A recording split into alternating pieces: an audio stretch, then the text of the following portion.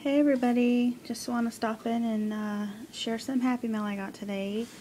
I was out today shopping because um, it's Scrub's birthday tomorrow, so I needed to get um, his stuff together and when I got home I checked the mail. I haven't checked it in a couple days because I really hardly get that much mail, but Saturday, so I figured I would go check it and I had two things in there, so I was pretty excited. Like I said, I haven't got any Happy Mail in a while, but um, so the first thing I got was I finally got a Michaels Rewards card, and I'm like super excited because I've been wanting one of these, but the Michaels that's by me doesn't have these. So um, one of the girls that's in the Smashaholics Facebook group was able to get some. So I was like, could somebody please send me one because I've like wanted one forever. So she was so nice to um, send me one.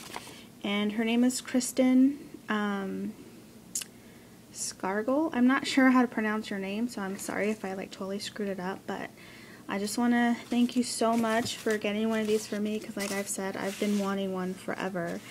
So, um, I'm going to fill it out and start using it. So excited. So thank you so much for that. And then um, I haven't posted the video yet because I was waiting for her to get it. But you guys will see um, a Hello Kitty tag that I made. Um, I was inspired by Jen, who is Jencali78 here on YouTube. She had posted some videos about um, some Hello Kitty tags that she had swapped with and you guys, you guys know I love me some Hello Kitty, so I was like, oh, I think I'll make a tag. So I made a tag, and I decided um, I would just send her a little rack. And so I messaged her and said, you know, okay if I send it to you? I mean, I'm not like a weirdo or whatever, but um, is it okay if I send it to you? And she said yeah, and she wanted to send me one in return, which is super sweet because she didn't have to do that. I would have totally sent it anyways, but is really sweet that she did. So I got that today. And um, this is the tag that she made for me. It's super cute. I really, really like it. Um, I think she might, I think she has the, uh, if I remember seeing in her video, she has like the Sizzix uh, dies, the Hello Kitty dies, which I don't have. Um, but I think, I could be wrong, but anyways, um, I think that's what she did here, and it's like super, super cute. I love that. And then she sent me a card. Let's see if I can get it out here.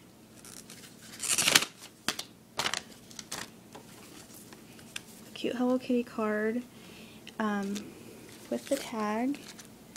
And she said well, she also sent me this um, adorable Hello Kitty um, little keychain. And so she said her inspiration for her tag was this little Hello Kitty, which is super adorable. And I've actually never even seen this one before. So I was like, wow, that's super cute. And um, so that was her inspiration, which they look like really, really great together. Um, I have a like cork board type thing in my craft room that I have all my little like Hello Kitty and Kawaii stuff um, on it, like hanging on it.